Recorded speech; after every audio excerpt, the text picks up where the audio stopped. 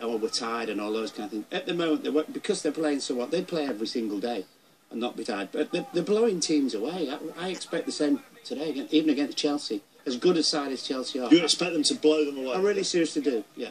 Amy, what do you expect?